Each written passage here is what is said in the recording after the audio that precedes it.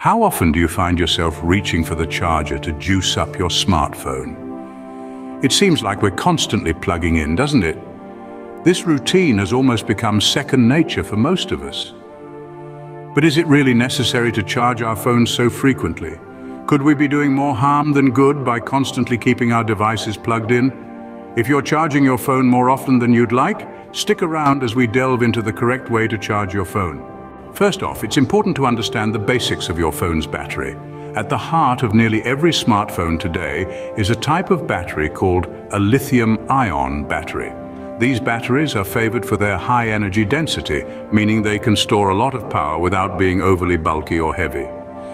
Now let's talk about charge cycles.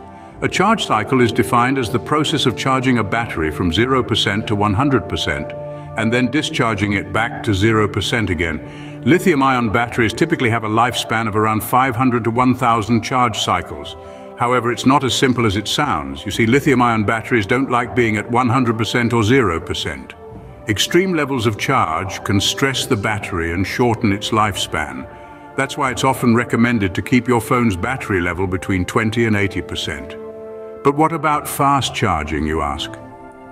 While it's true that fast charging can fill up your battery in a jiffy, it also generates more heat, which is not good for the battery's health in the long run. So unless you're really in a hurry, it's better to stick with normal charging. Now older batteries or those not based on lithium ion may have different charging needs. If your phone has an older battery, it might be best to keep the charge level between 40 and 80%. And let's not forget about the importance of using the right charging cable and adapter. Using low-quality or non-original chargers can damage your battery and may even pose a fire risk. So in a nutshell, lithium-ion batteries, charge cycles, the 20 to 80% rule, the potential pitfalls of fast charging, and the importance of using the right charger. These are the fundamental things you need to know about your phone's battery. With that understanding, we can now explore the correct way to charge your phone. Now let's dive into the step-by-step -step process of correctly charging your phone. Our daily companion, the smartphone, is powered by a small but powerful lithium-ion battery. These batteries are most commonly used in today's smartphones. They prefer a middle ground, not too full, not too empty. So ideally, you should charge your phone when the battery level drops below 20% and unplug it when it reaches around 80%. This way you're avoiding full cycles of charging, which can reduce the battery's lifespan over time. If your phone's battery is older, you might want to keep the charge between 40 and 80%. This range is considered to be the sweet spot for prolonging battery health. Now let's talk about fast charging. It's a convenient feature, isn't it? But just like a fast-paced lifestyle can lead to stress, fast charging generates more heat and can shorten your battery's life in the long run. So, it's better to use standard charging whenever possible. You might be thinking, but I charge my phone to 100% every day. Well, that's not necessary. Charging your phone once or twice a day should be sufficient.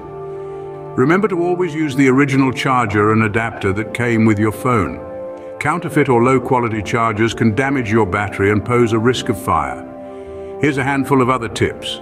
Don't charge your phone in extreme temperatures, too hot or too cold.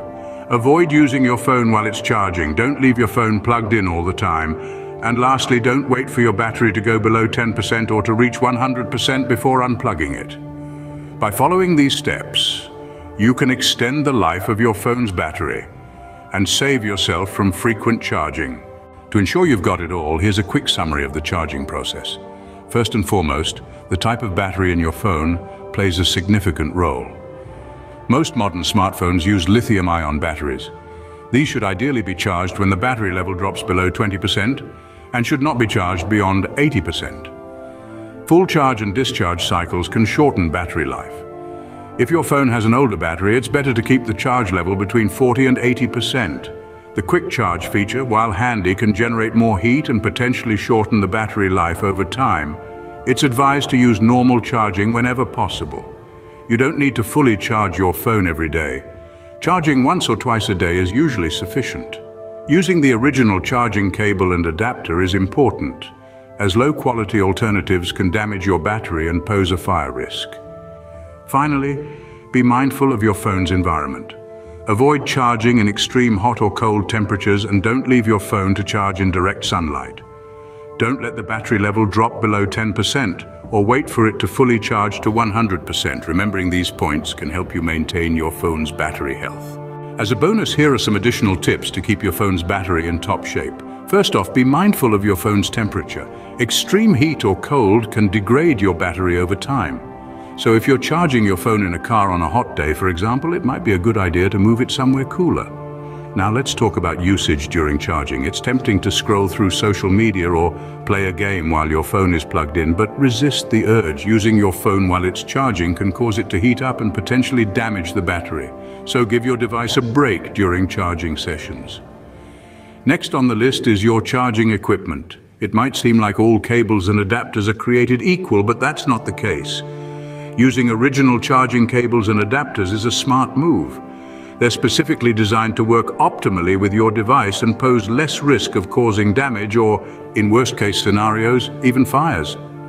Also, try to avoid leaving your phone plugged in all night. Overcharging can cause your battery to degrade faster. It's best to unplug your phone once it hits a full charge. And don't wait until your battery drops to dangerously low levels before plugging it in. Constantly letting your battery get to less than 10% before charging can shorten its lifespan. Aim to start charging when your battery hits around 20%. Finally, consider your phone settings. Things like background apps, screen brightness, location services, and Bluetooth connections can all drain your battery faster. When you're not using them, turn them off to conserve battery life. With these tips, you're well on your way to prolonging your phone's battery life. In conclusion, the way you charge your phone matters a lot more than you might think. It's not just about plugging in your phone when the battery level is low and unplugging it when it's full. There's a lot more to it than that. And understanding these nuances can significantly extend the life of your phone's battery. The majority of smartphones today use lithium-ion batteries. These batteries function best when they're kept between 20 and 80% charged. Constantly charging your phone to 100% or letting it drain to zero can shorten the battery's lifespan. So if you're in the habit of charging your phone overnight, you might want to rethink that. If your phone's battery is older, it might be best to keep the charge between 40 and 80%. Fast charging, while convenient, generates more heat and can degrade your battery faster over time. So if time allows, opt for a normal charge instead. How often should you charge your phone? There's no need to charge it to full every day. Charging it once or twice a day is usually enough. And remember, always use the original charging cable and adapter. Low-quality substitutes can damage your battery and pose a fire risk. Here are some additional tips to consider. Avoid charging your phone in extreme temperatures. Don't use your phone while it's charging. Don't leave your phone plugged in once it's fully charged. And if possible, turn off your phone or switch it to airplane mode when you're not using it. In the end, the goal is to extend the life of your phone's battery and ensure a smooth user experience. By adopting these charging habits, you're not just preserving your battery, you're also getting the most out of your device. By charging your phone correctly, you can maximize its battery life and enjoy a better user experience. Thanks for watching, and remember to keep your phone's battery happy.